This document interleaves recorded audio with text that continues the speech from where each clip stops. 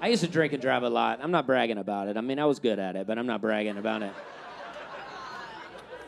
Back when I was drinking, there was no Uber, no Lyft. Cabs weren't reliable. So if you wanted to drink, you had to just drive, you know?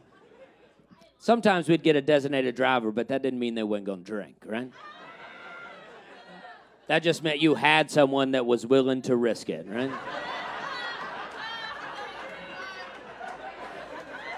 that one friend with nothing to lose.